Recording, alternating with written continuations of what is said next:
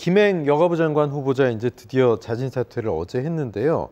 일각에서는 이걸로 선거 패배의 책임을 뭐 꼬리 자르려는 거 아니냐 이런 관측도 있는데 그동안 장관 후보자 내고 임명 강행했단 말이죠. 근데 처음으로 이제 어, 사퇴 어떤 철회 모양새가 돼 버렸습니다. 글쎄요, 뭐 대통령실에서도 그렇고 국민의힘 측에서도 예방 주사 맞았다, 약을 먹었다 이렇게 얘기하고 있는데 사실 병 너무 키워서는 약도 안 먹히거든요. 어떻게 보세요? 저도 참 민망합니다. 왜 그런가 하면 예, 저도 이 김행 후보자를 개인적으로 아주 잘 알고 네네. 개인적으로 아주 친해요. 그런데 제가 뭐 라디오 방송에 나가서 정말 이번만은 윤 대통령께서 양보를 해야 되지 않느냐. 네, 이 김행 후보 같은 경우에는 특히 공직자로서 돈이 있어서 깨끗이 해빙을 하지 못하면 두고두고 문제가 된다. 네. 두고두고 이 짐이 된다.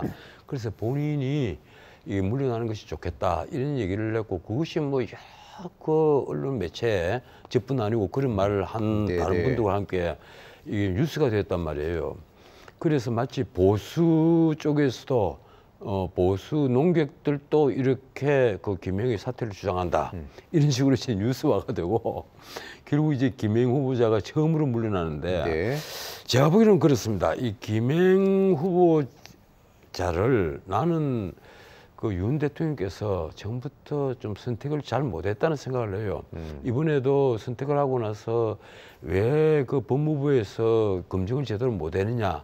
이래서 또 한동훈 장관의 공격 책임론. 대상이 네. 또그 되고 있지 않았습니까? 그런데 어떻게 보면 옛날 같으면 이게 문재인 정권 때 이 그 장관직 자리에 그 후보자 그 이게 청문 보고서 채택 없이 올랐던 한 임명 마흔 명, 강행. 예, 마흔 명 되는 분들 네, 이분들 보면 솔직히 김명 후보자 충분히 임명해도 됩니다. 그런데 그런 걸 떠나서 적어도 앞으로 이게 인사청문회가 지- 그 인사청문회로서 예, 예. 어떤 기능을 하려면 예, 이 정도의 문제가 있고 또 이 정도 파행을 겪은 분 같으면 네, 이 대통령실에서 임명을 고집하는 것은 난 좀 상과해야만 한다. 예, 이번에는 경위 어떻든 물론 국민의힘 그 다른 의원이 자 나갑시다 이래서 나간 건 맞아요. 네. 근데 다시 들어가지 않았단 말이에요. 예, 저 같으면 다시 들어갔을 겁니다. 음.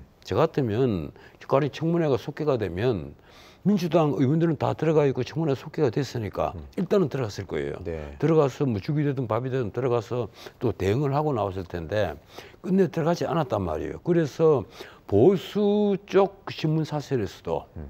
이거는 그 김행랑이라 그런 말까지 그러니까요. 그 예. 후보자다.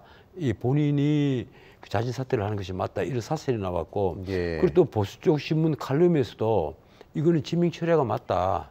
이런 칼럼이 나온 거예요. 음. 네. 그러면 나는 이 김영 후보가 좀 네. 일찍이 사퇴를 했었으면 이번 보궐선거에도 좀 그 좋은 영향을 미쳤을 건데 예. 이 선거가 끝나고 나서 네, 이 개표가 다 끝나고 나서 그 사퇴를 한 것은 좀 타이밍상 네, 조금 잘못됐다. 알겠습니다. 못다란 분에게 이런 말까지 들어서 정말 죄송한데 네.